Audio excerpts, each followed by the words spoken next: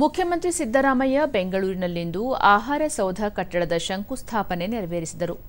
ಆಹಾರ ಮತ್ತು ನಾಗರಿಕ ಸರಬರಾಜು ಇಲಾಖೆ, ಗ್ರಾಹಕರ ವ್ಯವಹಾರಗಳ ಹಾಗೂ ಮಾಪನಶಾಸ್ತ್ರ ಇಲಾಖೆ ವತಿಯಿಂದ ಆಯೋಜಿಸಿದ್ದ ಈ ಕಾರ್ಯಕ್ರಮದಲ್ಲಿ ಸಚಿವರಾದ ಕೆಎಚ್ ಮುನಿಯಪ್ಪ, ಭೈರತಿ ಸುರೇಶ್ ಮತ್ತಿತರರು ಭಾಗವಹಿಸಿದ್ದರು.